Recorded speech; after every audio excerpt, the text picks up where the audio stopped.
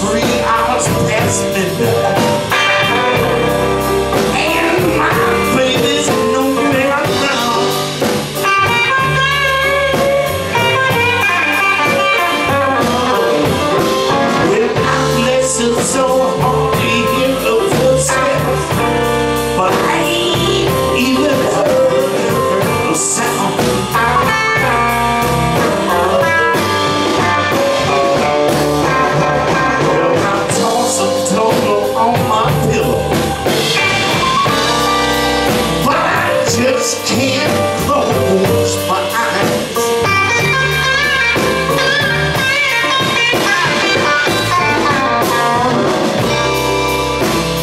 Rock Thompson don't want to go, but I just can't close my eyes.